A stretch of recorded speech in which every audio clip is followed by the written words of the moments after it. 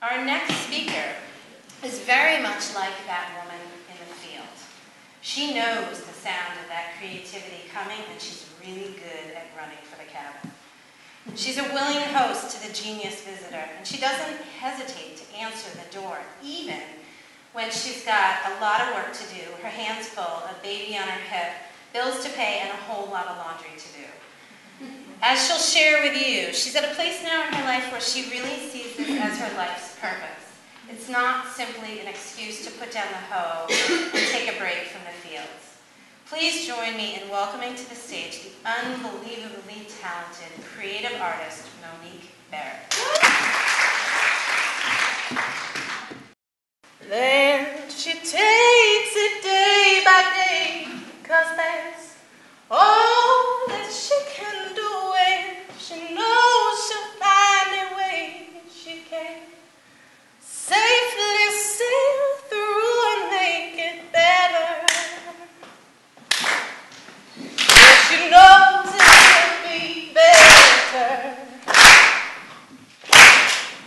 And when all is said and done, she'll be left there with all her pain, 'cause she knows that once she does, she can be happy once again, and she'll be better.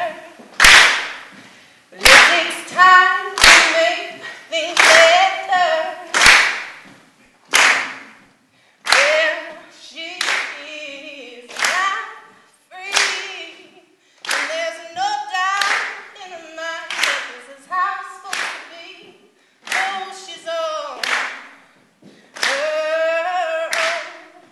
Well, she knows deep in her heart that she never walk alone to make it better.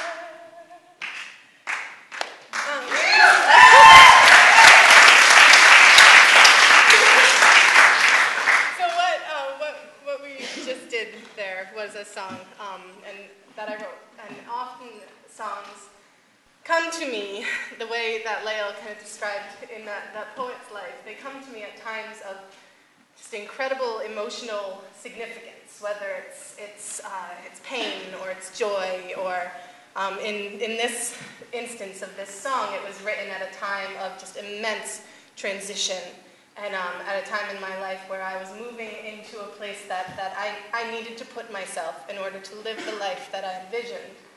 And, um, and it was hard, and it took some time. And, uh, and writing this song was my way of getting through it, my way of coping with it. And that's kind of what songwriting has, has always been for me. It's been a way for me to cope with situations. When these songs come along, I'm just like, ah, great, okay, that's, that's to help. Um, so that, that particular one has a, a special place in my heart because it kind of started me in a way onto the path that I'm on now toward becoming a professional musician. Um, but I chose it for two reasons. The other reason I chose it is because it's the first song that I've written that has allowed me to see how my music that I create can impact other people. I never really thought of it that way. I, like I said, I, I always just thought, oh, this is mine, and I kind of squirreled it away, and you know, just thought of it as my way of, of dealing with things. Um, until I sang that song at a gig that I played a couple months ago, and a woman came up to me, and she was crying, and she hugged me, and I was like, oh, hello, stranger. Um, and, uh, but I'm, I'm always open for hugs, so it's okay. Um, and uh, she said, I just, I, I needed to come out tonight, and I needed to thank you for writing that song, because that song helps me get out of bed every morning. And, uh, ooh, oh, I said I wasn't going to do this? Okay. um, and at that moment, I, I realized, oh my God, okay, so this really can make a difference. And that was big for me for a couple of reasons. Um, I have always known I wanted my life's work to be something helping, that where I can help other people. I never saw music as that. I didn't see how, you know, traveling around and um, trying to, to live your life that way could help. And she allowed me to see that.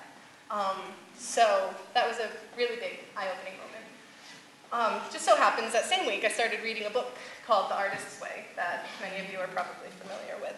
And um, one of the basic premises in this book is that every one of us is born with something special, some creative talent, some gift that we're giving, given. and giving. Um, and the idea in this book is that these are gifts from God. These are gifts from something bigger, something higher. And that when we choose to accept them, recognize them, and use them to put something back out into the world, um, that's our gift back to God. And when I read that, it totally struck a chord in me, no pun intended, um, that this, this is like, this is my way to not only be helping people, which is what I've always wanted to do, but it's my way to like to get on God's nice list at the same time because I'm doing something that God wants me to do. And it's clear to me now that God wants me to do this. I, I think of the times in my life, I kind of, I had this moment when I, when I realized that. And it was like in a movie when, you know, in a movie when somebody has this, this moment of realization and it's like you hear the record player like, you know, and it stops and it zooms in on their eyeball and it goes past, you know, all these memories. You hear things people have said in the past and you see these scenes from your past or their past. That happened to me, basically. And, uh, and I went back over all these moments in my life that made it so abundantly clear to me that I am here to be a musician. Um, I had a vision of myself at seven years old sitting in a field by my house picking a blade of grass and figuring out that if you hold it just so between your thumbs and you blow, it makes a sound kind of similar to an oboe. It's this like, you know, like reedy sound. And uh, as soon as I realized it could make a sound and it could make a note, I wanted to see if it could make lots of notes. So I tried to make different notes on it, and before you knew it, I was playing the Star Spangled Banner on a blade of grass at seven years old. And then I thought to the moment that I wrote my first song. And um, and, you know, talk about these moments of, of great emotion, you know, where these songs come to me. The, my first song was written at 14 years old. It was my first true love. And I wrote a poem. And when I wrote the poem, I wrote it down. It was only four lines. I wrote it down, and when I read it back, it was a song. And I, I read it as a song. And that's the way I heard it. And I remember busting into my sister Jocelyn's room and being like, oh my God, so I just wrote this down, and now it sounds like this. And it went like this. Labyrinth, your wall. I breathe your sand. Labyrinth, your love. Labyrinth, your breath. Four lines of perfectly innocent love. I breathed somebody's breath. That's all I did. You know. and my sister started bawling, and I was like, "Oh God, I'm so sorry." And she said, "No, I'm not crying because you made me sad. I'm crying because that was beautiful, and I'm proud of you." And um, and it turns out that that's not that's not the last time I'd make people cry. I get uh, pretty much every gig I play, I get somebody who's like, "Your music made me cry," and I used to I used to apologize all the time. You're like, "I'm sorry, it's really not my intention," but you know, I've been told that just the very sound of my voice it, it unlocks something in people, and and I've have had people thank me because they'll say, "You know what? I really needed." Cry. I needed to feel what I felt. You didn't make me sad. You made me cry. And um, so that's a little different. So I can take some solace in knowing, you know, that that's another way that I know that what I'm doing is the right thing to be doing. So, um, so here, here we are, two months pretty much after I had these two big moments where I read this book and I had this nice lady tell me about, you know, getting out of bed in the morning and using my song. And um, if, if ever I needed proof that when you surrender, when you let yourself be what it is that you're here to be, um, if ever I needed proof that that was true, that you, I should do that, th- these two months have proved that. Because in two months, I've written three complete songs. And to give you some some uh, comparison, I've written 10 songs in the last 15 years. I've written three songs in two months. And, uh, and not only have I written three complete songs, I have a notebook full of ideas. And I don't have, unfortunately, I don't have to run to a cabin and write them down. I have an iPhone with an app that I, that I just be like, oh, okay, sing into. So, um, so yeah, and then there's lots of things on there that I'm like, delete, you know. But, but that's where the ideas go until I can get them into a little better form. And um, so, oh, right, proof. I have these songs. I have gotten more opportunities to share my music than ever before. I have, I have gigs that I've had to turn down opportunities to play places. Have people contacting me and asking me to play at their venue, which is crazy. Um, and I have, um, I've been on the radio two times. I have, oh, my, I wrote a lullaby for my daughter Eleanor, who's eight years old now. I wrote it when she was just a tiny, tiny baby. And um, somebody is putting together a compilation CD, a benefit CD for the Children's Hospital, and they're putting Ella's lullaby on it. And I'm like, it's amazing. It's amazing. Two months. This has happened in two months. And to top it all off, I'm here tonight. I'm here in the company of women who I have so much admiration for and so much respect for, and who I feel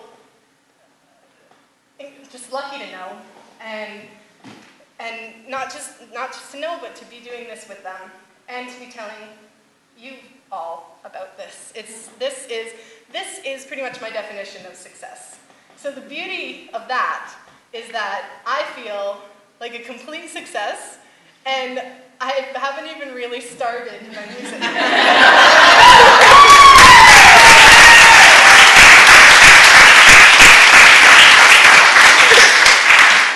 Um, I'm, I'm recording an album. I'm in the process of recording an album. That was one of the, um, the, I made all these excuses why I couldn't do all this stuff, and one of my excuses that got shot down was, well, I can't afford to record an album, and then I found a sound engineer who's willing to record me in exchange for sushi and soup. I was like, all right, I guess I can record an album.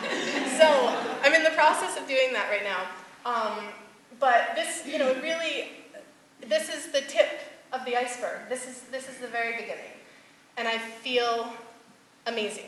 Um, like, this is success. And um, I forget how I was going to. I actually wrote a song to close it. I have one minute left, and I'm going to try to make this happen. Um, I didn't bring my guitar, but I need your help. Does anybody? Do you guys feel okay singing a little bit? Mm-hmm. We're in a church. We're in an old church, and I have all of these amazing people in front of me, and I just got to. I, I have to try this at least. So I wrote this song about this whole process, and this song it just it happened, and. Um, the first two lines that I won't sing, it was there's something I've been searching for my whole life long, and I thought perhaps I'd find it if I wrote a song about what it is I'm supposed to do. And then the second line was, it's time for me to listen to that inner voice. It's grown so loud, I feel I no longer have a choice um, about, about, about what it is I'm supposed to do.